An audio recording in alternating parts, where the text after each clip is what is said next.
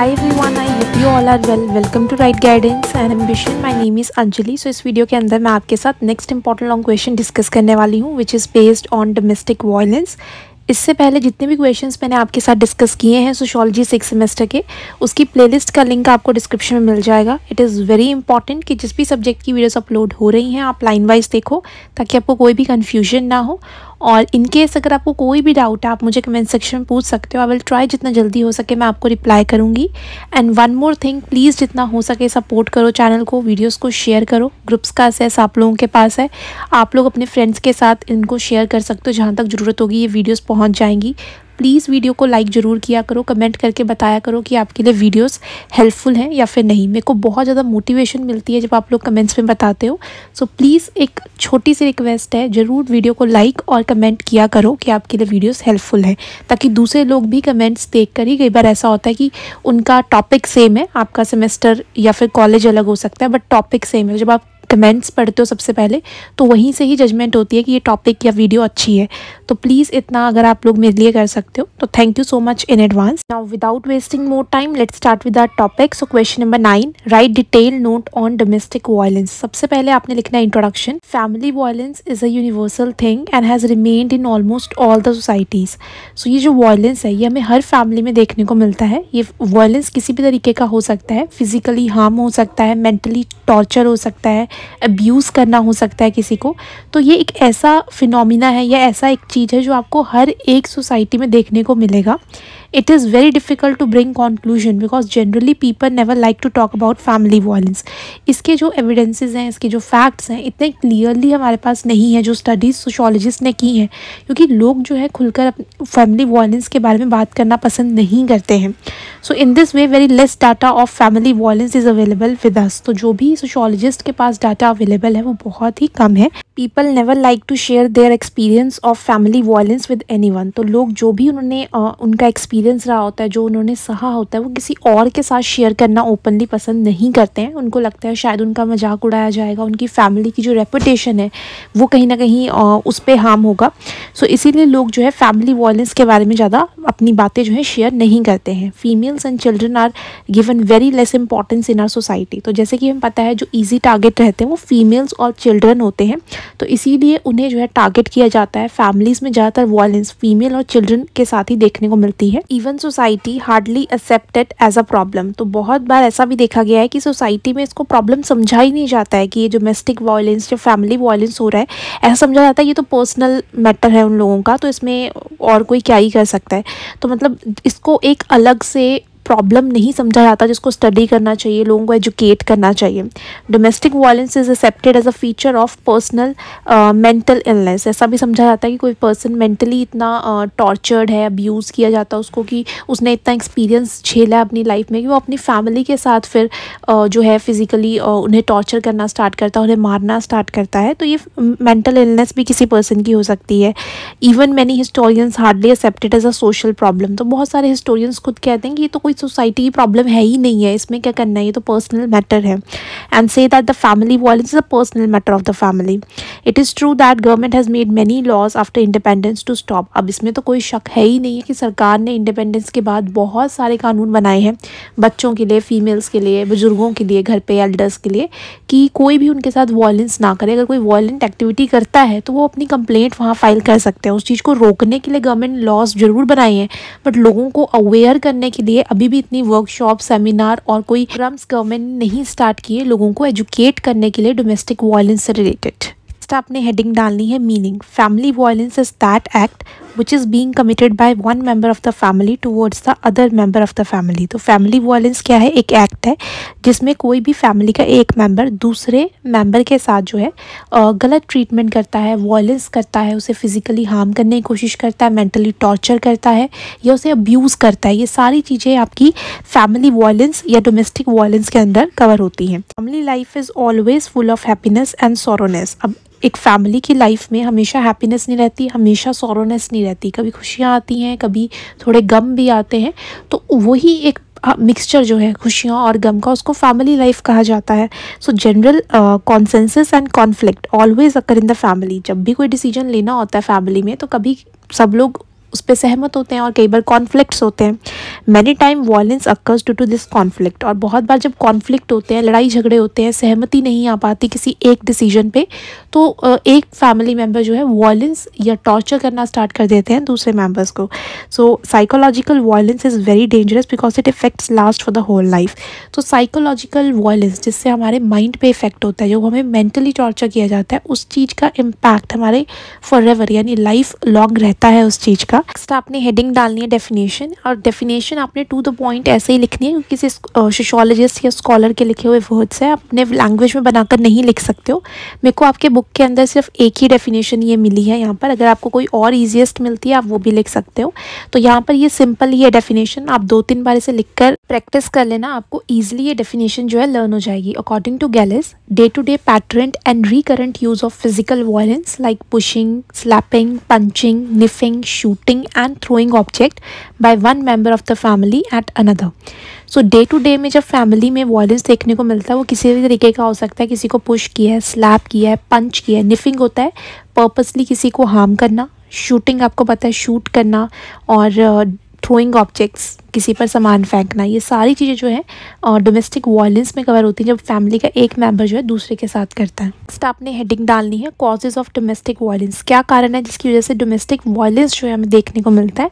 सबसे पहला पॉइंट आपका है alcoholism when a person reaches the home after consuming alcohol then his wife children parents etcetera advise him to not to use alcohol जब भी कोई person alcohol लेके अपने घर पे आता है तो उसके जो वाइफ है चिल्ड्रन है पेरेंट्स उसे मना करते हैं अल्कोहल लेने से।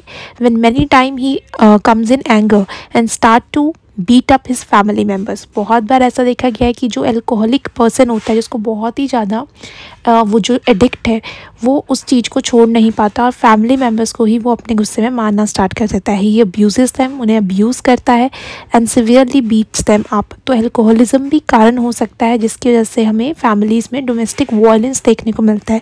His body remains under the influence of liquor and hardly cares what he is doing तो जो उसकी बॉडी होती है, वो लिकर के एडिक्शन में होती है, उसे नहीं पता होता कि वो अपने फैमिली मेंबर्स के साथ क्या गलत कर रहा है उस टाइम पर। नेक्स्ट आपका पॉइंट है misbehaviour of childhood childhood has been spent with full of misbehavior, violence of parents and without love. Behavior of many persons become rude.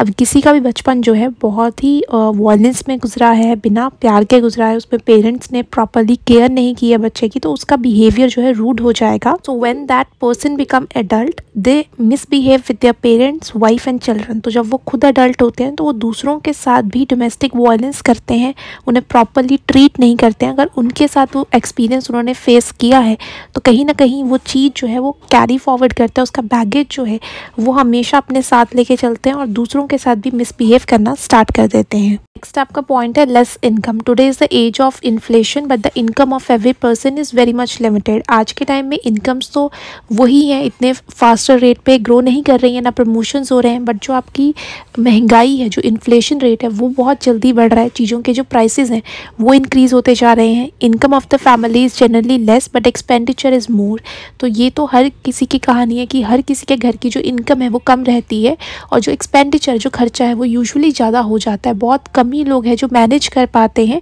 Income को सेव भी करना है और स्पेंड भी करना है।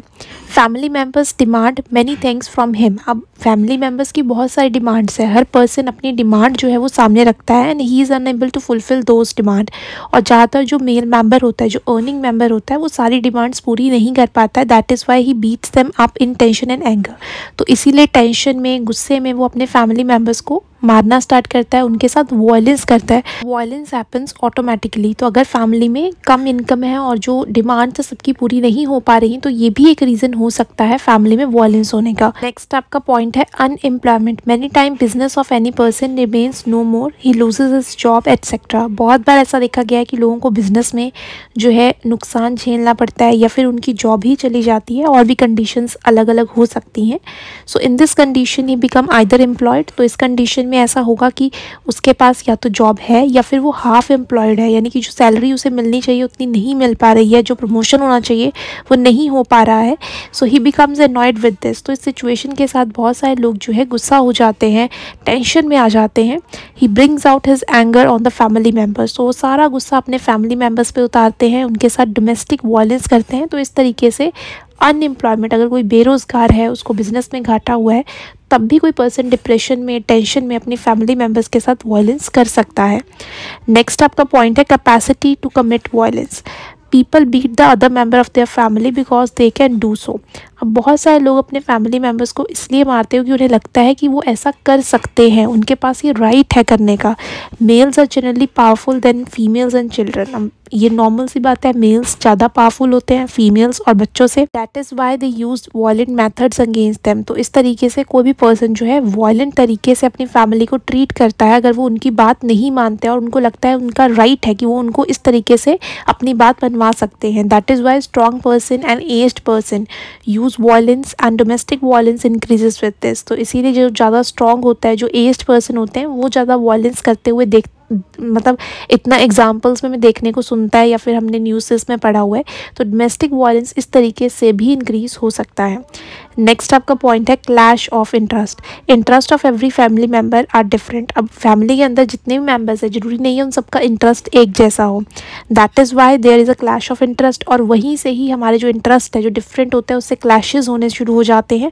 Every member of the family wants that he should get more and more family property अब हर कोई चाहता है, हर किसी को ज़्यादा से ज़्यादा शेयर मिले प्रॉपर्टी में. That is why conflict start in member of the family इसीलिए लड़ाई झगड़े जो है, वो स्टार्ट हो जाते हैं फैमिली में.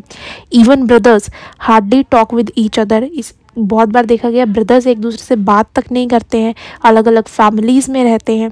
Even they try to kill each other because of property एक दूसरे का मर्डर भी कर देते हैं प्रॉपर्टी के लिए। तो जब एक फैमिली के अंदर मेंबर्स का इंटरेस्ट एक जैसा नहीं होता, उनके क्लैश करते हैं इंटरेस्ट तब भी वायलेंस देखने को मिलता है। नेक्स्ट आपका पॉइंट है male dominated society our society is male dominated society because of which females are given very low status in family and society हमारी सोसाइटी मेल डोमिनेटेड है, यानी कि जो मेल है, उनकी बात ज़्यादा सुनी जाती है, ऐसा समझा जाता है कि मेल के पास ज़्यादा पावर है, उन्हें जो है ज़्यादा पावर्स दी जाती हैं राइट्स दिए जाते हैं। तो जिसकी वजह से हम ये मान सकते हैं कि फ़ीमेल की जो पोजीशन है, जो स्टेटस है सोसाइटी और फैमिली के अंदर, वो लो रहता है। In this way the cause of violence against women comes out due to the lower status of women as compare to the male तो इसीलिए फीमेल्स के साथ डोमेस्टिक वायलेंस और फैमिली वायलेंस ज़्यादा देखने को मिलता है, क्योंकि फीमेल्स की जो पोजीशन है, वो काफ़ी लो रहती है। मेल्स के कंपैरिजन में this inequality in both the sexes is going on from the ages और बहुत लंबे टाइम से, ऐसा नहीं ये मॉडर्न कॉन्सेप्ट है, बहुत लंबे टाइम से जो डिफरेंसेस हैं, ये जेंडर डिफरेंसेस हमें देखने को मिलते हैं। More in inequality will lead to the violence against lower class तो जितनी इनइक्वालिटी ज़्यादा होगी, जितने मेल एंड फीमेल में ये गैप बढ़ेगा, जितने हम उन्हें अलग अलग राइट्स देंगे, जितना हम उन्हें अनएजुकेट रखेंगे, जितना हम अनअवेयर रखेंगे, उतना ही ज़्यादा वायलेंस होगा। तो इसीलिए बोला जाता है इक्वालिटी इज़ वेरी इंपॉर्टेंट ताकि एक जो पर्सन है वो दूसरे के साथ वॉलेंस ना करे। नेक्स्ट पॉइंट है dependency generally males earn money in the family and all other members depended upon them to live ज़्यादातर ये देखा गया है कि जो मेल मेंबर होते हैं, वो फैमिली में अर्न करते हैं और बाकी जितने भी मेंबर्स हैं, वो उन पर डिपेंडेंट है अपनी ज़रूरतों के लिए। That is why males feels that the life of other members of the family is in their command तो इसीलिए मेल मेंबर को लगता है कि बाकियों की ज़िंदगी, उनका जो फैसला है, जो डिसीज़न है, वो उनके हाथ में है, वो अपने तरीके से उनकी लाइफ को कंट्रोल कर सकते हैं, उन्हें कमांड दे सकते हैं। In this way dependency also increase domestic violence तो इस तरीके से अगर कोई पर्सन जितने ही फैमिली मेंबर्स है अगर दूसरों पर डिपेंडेंट है, जो जो कमा रहा है, जो अर्निंग मेंबर है, वो दूसरों के साथ वायलेंस कर सकता है, उसको ऐसा लगता है तो ये डिपेंडेंसी भी कहीं ना कहीं रीज़न हो सकता है डोमेस्टिक वायलेंस का। नेक्स्ट आपने हेडिंग डालनी है ways to stop domestic violence किस तरीके से अब डोमेस्टिक वायलेंस को रोका जाए? To reduce family violence and to save the life of victims of violence we have to change our values behaviour nature with which our way of of looking the females will also भी change तो अगर हम चाहते हैं जो family violence है domestic violence है, इसको कम किया जाए, जो विक्टम्स हैं, उन्हें बचाया जाए तो सबसे पहले हमारी सोसाइटी की जो वैल्यूज़ हैं, जिस तरीके से हम बिहेव करते हैं ट्रीट करते हैं फीमेल्स को, बच्चों को, वो सारी की सारे सिस्टम को चेंज करना पड़ेगा, लोगों को एजुकेट करना पड़ेगा कि both the genders are equal बच्चे जो हैं, उनका भी कुछ राइट्स है, वो भी अपनी बात आगे कह सकते हैं। तो अगर हम एजुकेशन के थ्रू अवेयरनेस के थ्रू लोगों को ये चीज़ समझाएँगे, तब जाकर जो है डोमेस्टिक वायलेंस आई से कम हो सकता है। If we will beat our children to make them understand it will affect their body but it will affect their mind as well तो बहुत बार बच्चों को समझाने के लिए देखा गया पेरेंट्स उन्हें मारते हैं ताकि उन्हें लगे, उन्हें लगता है कि वो उनको पनिशमेंट दे रहे हैं, इस तरीके से वो समझेंगे। तो वो सिर्फ़ और सिर्फ़ उनकी बॉडी को हार्म कर रहे हैं, ऐसा नहीं। उनके माइंड पे भी इस चीज़ का बहुत असर पड़ता है वॉयलेंस का। He will never forget this meeting for the whole life वो अपनी पूरी ज़िंदगी जो है इस चीज़ को नहीं भूल पाते जो उनके साथ वॉयलेंस होता है। तो if we will educate them with love then it would be a very important step to reduce domestic violence because love gives birth to love तो अगर हम चाहते हैं कि डोमेस्टिक वॉयलेंस कम हो तो फ़र्स्ट हमें एजुकेट करना पड़ेगा उन्हें इस चीज़ के बारे में कि अगर हमें कुछ कॉन्सेप्ट उन्हें समझाना है तो हम प्यार से समझा सकते हैं because love gives birth to love तो इस तरीके से हम लोग जो है डोमेस्टिक वायलेंस को कम कर सकते हैं। नाउ एंड में conclusion four to five lines and it is very important to write the conclusion in the end इससे आपका आंसर जो है कंक्लूड हो जाएगा। कोई भी इंपॉर्टेंट लाइन्स जो हमने पूरे क्वेश्चन में डिस्कस की हैं, आप एंड में लिख सकते हो। इनकेस आपको लाइन्स नहीं पता लगेंगी, मैंने आपके लिए यहाँ लाइन्स लिख दी हैं, आप यहाँ से रीड कर लेना। बट कॉन्क्लूजन लिखना is must I hope you will find this video informative and helpful if you have any doubt related to this video or syllabus please comment below. Share this video with your friends and subscribe the channel so that you will get the notification on time. All the best achievers. Have a nice day